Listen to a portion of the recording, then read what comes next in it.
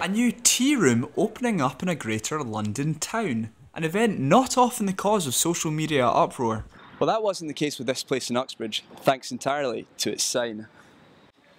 When a snap of its shopfront went viral, the wonky teapot, yes, that's an O, not an A, found unexpected notoriety almost as soon as it opened.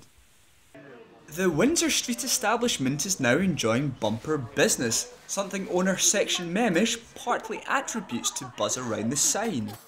I can see from here that like a couple people are showing to each other, and then I knew, I know exactly what they are talking about, you know. And then they take picture. Probably they are showing to other people, and that is just a free, most effective marketing. If you, if you give me the option, just name it like any name, like John's Cafe, for example, and then you, I will get fifty thousand pounds worth advertising, marketing uh, or that just name and nothing, no 50,000 so I would, I would definitely keep that one.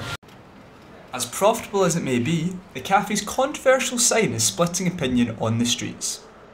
At first I didn't like it, but now I can see that it works for them and it brings lots of people down. When you think of what the letter is, you only make one conclusion. Um, but actually as a place to, to eat and drink, it's wonderful. As a lot of bad publicity. Yeah.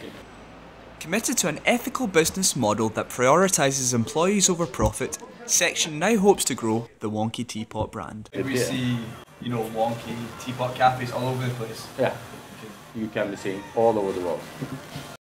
This has been Alasdair Lane for BWest London.